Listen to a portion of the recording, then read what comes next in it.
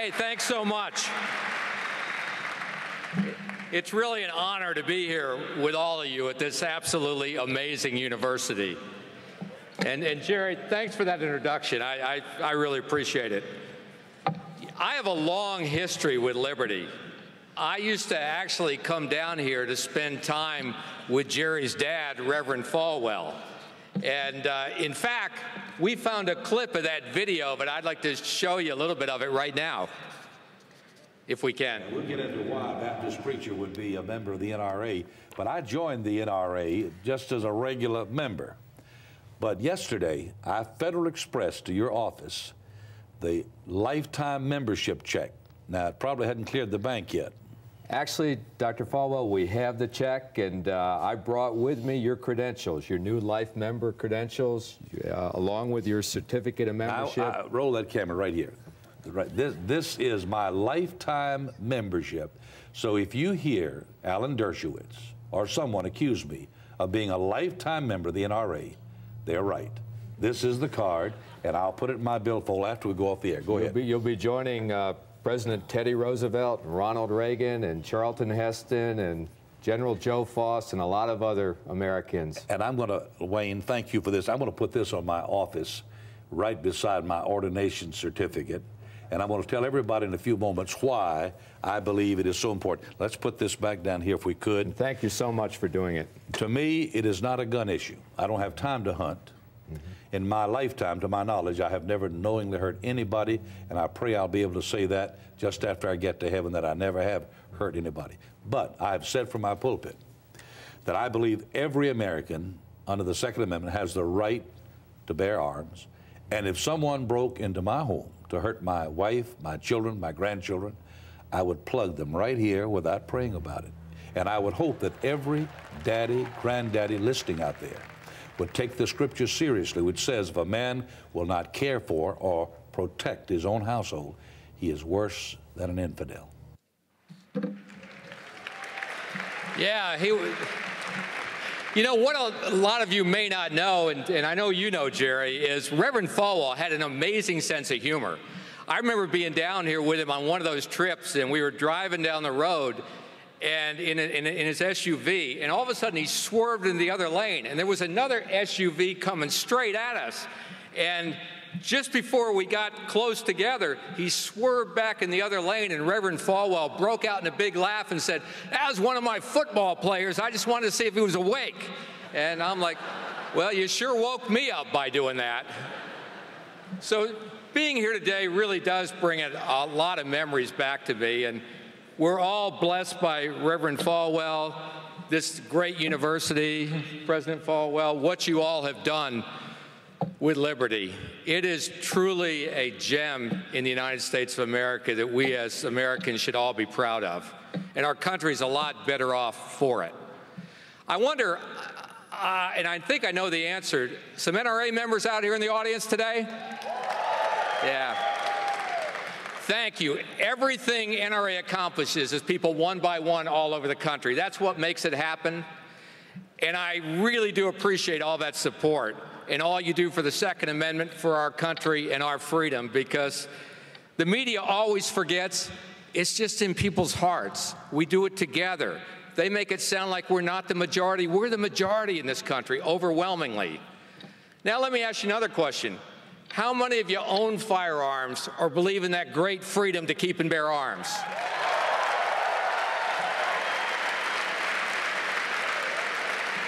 Thanks for standing up and exercising your real and personal liberty that's bestowed upon all of us by our Creator. Now, I'm not going to ask you to identify yourself here today, but I know that many of you are probably carrying a concealed firearm for personal protection.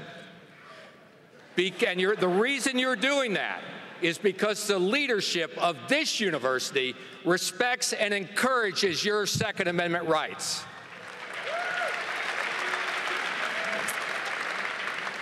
And here's the deal because so many of you have committed to the training and the responsibility of carrying a firearm, and because you have rejected that dangerous lie of gun free zones, I'm standing right now in one of the safest places in the country.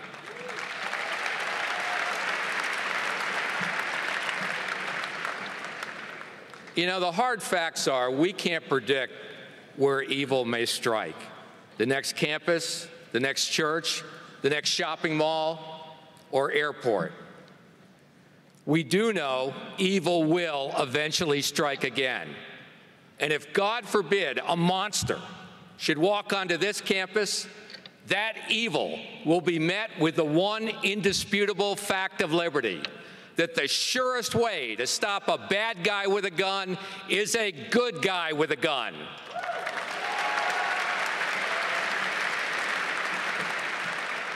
Of course, there are some that don't agree with that. In fact, you and your university have been criticized for allowing students, faculty, and staff to carry concealed firearms. Well, I've been leading the NRA for almost 25 years now, and gun owners have been criticized and demonized by the media and those same political elites for as long as I can remember. They call us paranoid for arming ourselves for protection. They dismiss us as gun nuts. They blame us for tragedy that has nothing at all to do with lawful gun ownership, and they scorn us. They scorn us all for standing up for our rights. You know, we face a culture of leadership in this country that routinely lies on all kinds of fronts. I mean, think about it. Brian Williams, you can keep your health care. The border's more safe than ever. Benghazi, we face an epidemic of untruth at the highest levels of our country. The American public all over this country, citizens just like you, sit out there and says, say, oh my gosh, it's got to stop. And yet when someone does tell the truth, they get clobbered. It's like it's all upside down. Lies seem normal. The truth seems bizarre, like it's crazy talk. And the news media doesn't want to tell us what the news is they want to tell you what to think. All of that is having a devastating impact on the kind of values, freedoms, and beliefs that our country was founded on. When you catch them in a lie, let me show you what you can do if you stand up to them. Please watch this video. Now we give you the other side from the Executive Vice President of the National Rifle Association, Wayne LaPierre. Wayne, thanks for being with us. Hi, Kara. Good to be with you. Well, if the ban on assault weapons expires, what kind of weapons would be legal? Kyra, let me say this at the start. I'm glad you ran that story because apparently the only difference between the New York Times and CNN is that when a reporter for the New York Times fakes a story, he's fired, and at CNN, he's not. Your bureau chief, John Zarrella, deliberately faked the story yesterday, intending to show that the performance characteristics of banned firearms on the list are somehow different from the performance characteristics of firearms not on the ban list. He was, a, he was implying that these were uh, machine guns or fully automatic guns. That's not true. Mr. LaPierre, I, I have to stop you there. No one fakes stories at, he, at CNN, and John Zarrella definitely did not fake a story at CNN. You're very off base. I'm going to let you say your opinion, and let's right, have well, a conversation, but don't accuse uh, our reporter of faking well, any no, stories, sir. Let me say it again in front of the whole country. Your reporter faked that story yesterday. It deliberately misread right, the viewer. There's no way. There's no way it could be true, and I challenge we're, CNN to defend it. Yeah, yeah. Here's the thing. CNN finally admitted I was right and ran a correction. But millions of viewers were deceived. And the really sad thing about that is this. If I hadn't happened to be sitting in the studio and caught him red-handed like a bank robber running out of the bank with a bag of dye exploding all over him, that lie would have continued to stand as truth. It's got to the point in this country where one of America's greatest vulnerabilities is the failure of the media to provide a level playing field for the truth. And it's up to all of us to hold their feet to the fire. It's up to all of you to call them out for their lies. And when you see them doing it, stand up to them. Get right in their face. Do something about it because it can make a difference. So many of those elites, they think they're better than us. They somehow think they're more sophisticated. They think, they think they're more intellectually evolved somehow than we are. Or they think they're just somehow plain smarter than we are. Well, I've got news for the elites who look down their noses at all of us and our rights. We gun owners are a heck of a lot smarter than you'll ever be. And it's true. In all of history, there's never been a group of citizens so engaged, so determined, so resolute, and so unified in defending freedom, so politically savvy and individually prepared and responsible for protecting our families and our communities. Never have been there been smarter, freer American citizens than America's 100 million gun owners. And let me say that again. In all of the world, some of the smartest citizens are American gun owners. And let me tell you why. Gun owners, law abiding gun owners, are smart enough to know that when that evil monster comes, our survival is right there in our own hands. Gun owners are smart enough to know that government can't protect us. At the scene of the crime, and I know all of you know this if you think about it, it's always the criminal and the victim. Despite everyone else's good intentions, they always come in later. You're there alone. Gun owners are smart enough to know that we, all of us individually, are the first line of defense. And we're smart enough to know that the elites are lying when they try to tell you that one more gun control law is going to keep you safe. You want proof? Let's talk about Chicago. For the gun control crowd, Chicago is utopia. I mean, after all, they've tried every type of gun law they can think of in that town, from licensing to registration to gun bans. Their utopian dream is Chicago's nightmare. Already this year, 400 people have been shot in Chicago. Compared to a year ago, the homicide rate in Chicago has skyrocketed by 100%. Think about it 100%. Does anybody think that sounds like success? As you know, Chicago is President Obama's hometown. In January, he participated in a so called town hall meeting. In that town hall meeting, he denigrated law abiding gun owners. He attacked the National Rifle Association, and he attempted to advance his own political agenda. And he called out the NRA. He implied that somehow we were afraid to meet him, he, as he said, Hey, you guys are just down the street. Well, let me repeat right now what I said then. And I said again at the CPAC conference two weeks ago. And I'll be real crystal clear about it. Mr. President, if you want to debate over our Second Amendment freedom, if you want to turn this election into a bare knuckled brawl over the rights of law abiding gun owners all over this country, I challenge you to a one hour debate with a mutually agreed upon monitor on any network that will take it. No pre screened questions, no gas bag answers. Mr. President, if you want that debate, bring it on. We're just down the street. What are you afraid of, Mr. President? You know, but there's been no response from the White House. The president keeps ducking me. And gun owners are smart enough to know, and I think you know it as you sit there today, and he's never going to debate me on guns. Gun owners know the president, if he debated me, would get his clock cleaned and the president knows that too. He also knows, and this is really important, he also knows he could pick up the phone and he could order his United States attorneys to flip Chicago upside down and prosecute every felon with a gun, every criminal gang member with a gun, and every drug dealer with a gun. If he did that, that would make Chicago safer. And until the president does that, Chicago is his failure.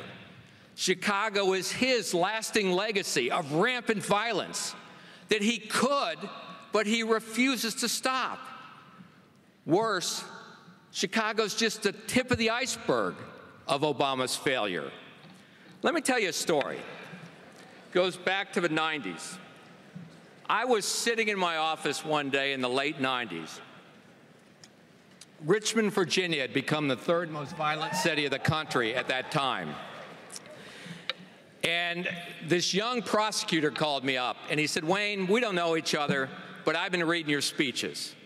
And I'm going to give you a chance to put your money where your mouth is. He said, I'm going to do what nobody's ever done in this town. He said, I'm going to put the federal gun laws on a card. Federal gun laws, existing federal gun laws. I still have one of the cards right here in my hand. And he said, I'm going to go into the police department. I'm going to tell them this. Every time they see a drug dealer with a gun, a criminal gang member with a gun, a felon with a gun, I'm going to tell them to call my office and we are going to prosecute them 100% of the time. We're not going to put them out on bail and we are going to take them off the streets. He went to the African American community, the business community. He went to gun owners.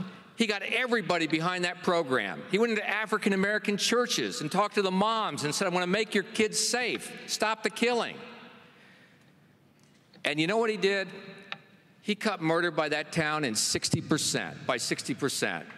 He, he did it. He did it. And he told me this story. He said, Wayne, I was sitting at home one night and there was another murder on TV.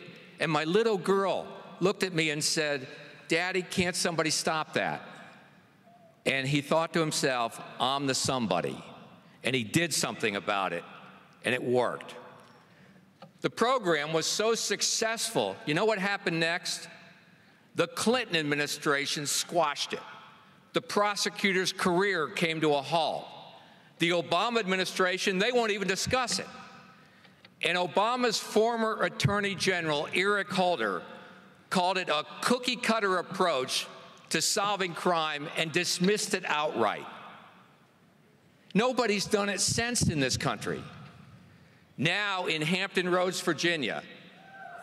Yeah, but here's the sad thing thousands of convicted felons have been caught with illegal guns, and most of them have never been punished. And just so you know, a convicted felon is prohibited from even touching a firearm. If he does, or she does, the penalty is up to 10 years in federal prison. Same with criminal gang members. If you're caught dealing drugs and you have a gun and you're out on the street ruining neighborhoods, it's up to 15 years in federal prison. In Hampton Roads, however, eight out of 10 felons found guilty of that don't spend a one single day in jail. They're back on the streets. They're free to murder. They're free to rob, and they're free to ruin those neighborhoods. And here's the crazy part the political elites, the national news media, the media celebrities accuse us, law abiding gun owners, of being unreasonable. Let me tell you what's unreasonable letting bad guys go, letting repeat offenders violent offenders with guns continue to ravage our streets and our neighborhoods in this country. If you want reason, you want smarts, then try it our way. Enforce the laws on the books. Clean up Chicago. Clean up Hampton Roads. Clean up Washington, D.C., Los Angeles, St. Louis, and all the other crime zones in this country and do it by arresting them, prosecuting them, and sending them to prison, and that's what works. That, that will keep innocent citizens safe, and every law abiding gun owner in America knows it. And you know who else knows it? Every rank and file police officer that's out walking those streets. They all know it, that's the answer, and they pray every day that our elected officials will only do it and start making this country safe. But sadly, the political debate in this country, it isn't about keeping people safer. It's all about banning guns, your guns. That's all the elites want to talk about because that's all they really care about. It has nothing to do with making the country safer. Remember that story that President Obama talks about? Tells it all the time of that poor 16 year old girl that came to his inauguration and went back to Chicago, and she was killed by a criminal gang member back in Chicago? I'm sure you've heard it. He's told it, tells it all the time. What he doesn't tell you, and what the media is dishonest enough in this country not to report, is that criminal gang member that killed that poor 16-year-old girl was should never have been out on the streets to begin with. He was convicted of gun charges. He was released on probation, put on the streets. He was picked up for numerous times while he was on the streets and was never taken off the streets. And he ended up killing that poor 16 year old girl. No federal gun charges were ever brought from the Obama administration before that happened. It's a tragedy. It shouldn't have happened. Yet it happens in Chicago over and over and over again. I have really come to believe the president cares more about the story than he does about stopping it. And that's a really sad commentary in our country about our political leadership. Gun owners are smart enough to know that the president also cares more about restricting your freedom. He cares more than he cares about enforcing the existing federal gun laws and keeping people safe. And people all over this country have had enough of that kind of president. There's an election coming up and we're smart enough and we're fired enough, up enough to do something about it. Our nation is going to be put back on its rightful course, where individual freedom is respected, where justice is restored, where laws are enforced, and government gets off our backs and leaves us the heck alone. It really comes down to this. If we could legislate evil out of people's hearts, we would have done it long ago. I used to do a television show, a radio show on Westwood One every Sunday night. And one of the guests used to be John Douglas. He was one of the top FBI profilers in this country. And I always remember something he said to me on that show. He said, Wayne, if I learned one thing in my career, it's that some people are just pure evil pure evil, and you heard Julia tell the story, descended on Brussels yesterday. Thank God her parents are okay. Our hearts and prayers go out to the Belgian people and the victims of that terror attack, including the families of innocent Americans who were there. If evil, if evil ever descends on your house at 2 a.m. at night and the glass breaks there's not a government and there is not an authority on the planet that substitutes for your individual right to own a firearm to protect yourself. I remember after Katrina in New Orleans, we had people, it was chaos in that city. And we had camera crews down there asking people, were they okay, were, how they felt. And I remember we filmed this one African American woman sitting on her porch. And the camera, the, the uh, interviewer went up to her and said, Are you scared? Because there was chaos everywhere. And she looked at him and she said, No, I have everything I need. I have my Bible and I have my gun. You know? All over this country, no one cares more about protecting themselves than women. 30 million American women now own firearms. That number is growing every single day. And the number one women, number one reason women give for owning a firearm is personal protection. Soccer moms have increasingly become safety moms and they found a home in the National Rifle Association. Please watch. I'm a mom, and just like millions of other women, that's why I own guns. We're responsible, we're law abiding, and we're everything that makes America strong. Every day, we're willing to use a firearm to defend our families. But the media will never tell those stories. If a mom puts a gun to the face of a home invading thug and makes him run for his life, the story gets buried. But if she's unarmed and murdered, the cameras will be at the scene before the police. It's time for moms like me to speak out. We are the majority. We demand the freedom to defend our families, and we challenge the media to tell the truth about our rights. I'm the National Rifle Association of America, and I'm freedom's safest place.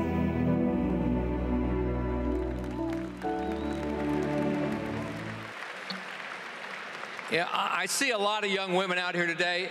I'll say this no woman should ever, and I mean ever, have to face evil with empty hands.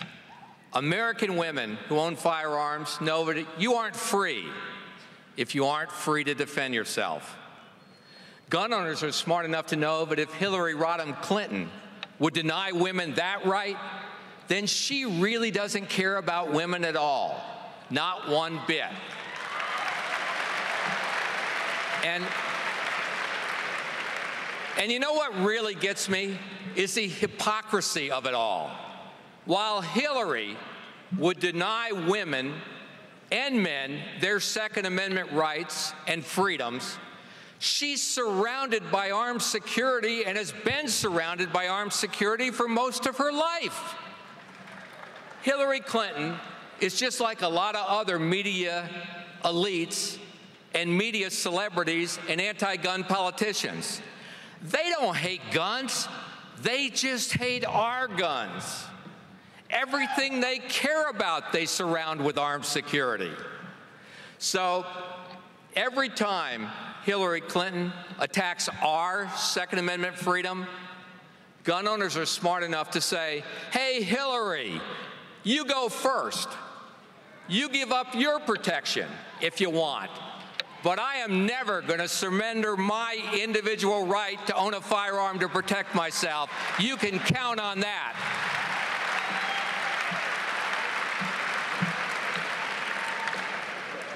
Hillary hadn't found a gun control law she didn't like. It goes from national registration to licensing to bans, you name it. And if Hillary survives her primary, I'm talking about the real one, her FBI primary. Yeah. That's, that's the real one. But if she does, she'll come after law abiding gun owners with every onerous restriction and anti gun Supreme Court nominee that she can appoint, all aimed at destroying our great individual Second Amendment freedom in this country. Hillary would wipe that away faster than she'd wipe away her server. Yeah. And gun owners and Americans are smart enough to know that. And I'll tell you what else. We're all smart enough to go to the polls and defeat her. We know, and all of you know, that freedom comes from the ability to protect ourselves that we're individually empowered to take charge of our own security. Gun owners know that America, this amazing country, is the greatest, freest nation on earth.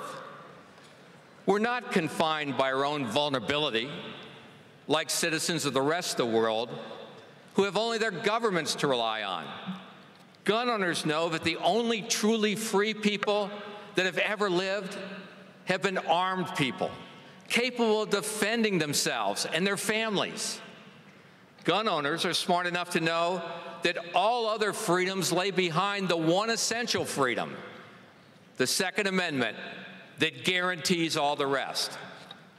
And gun owners are smart enough to know the difference between Supreme Court justices who respect the Constitution and liberal appointees that if they stack that court would rewrite the Bill of Rights, destroy our freedom for the rest of our lifetimes. And gun owners are smart enough to know that standing up for liberty and fighting for freedom is essential to saving our nation. Please watch this. The only truly free people who have ever walked this earth have been armed people capable of defending themselves and their families. Americans look in horror at supposedly free countries all over the world where innocent people live or die at the mercy of their government. We see what it's like to be French, German, or Belgian, where innocent people cower in fear as evil closes in, utterly aware of their own vulnerability, doomed to defend their families with rolling pins and broom handles. Let the rest of the world choose to live in fear. That false brand of freedom will never be ours. We are free to be as armed, trained, and prepared as we see fit. And we will never surrender that freedom to the global gun ban order. I'm the National Rifle Association of America, and I'm freedom's safest place. Our Second Amendment freedom empowers each of you, all of us, to a freer life. Gun owners cherish that freedom and are smart enough to know that we must never let it be taken from us. That freedom separates us from every other nation on earth. It makes us stronger than other countries. It makes us better than other countries. That freedom makes us Americans. I was born in Greece in 1939. Nazi warplanes bombed us unmercifully. Executions in the streets were common. I saw horror you could never imagine. Human beings became animals, starving and desperate. But me, I was lucky. Soon after the war, I saw the Statue of Liberty, and I cried. I've been blessed by the freedom and opportunity only America can offer. Today, I feel a duty to speak out. There will always be evil in this world, but the one thing that separates America from every other country is our freedom. And the one freedom that protects all the others is our Second Amendment. Never give it up. Never. I am the National Rifle Association of America, and I am freedom's safest place.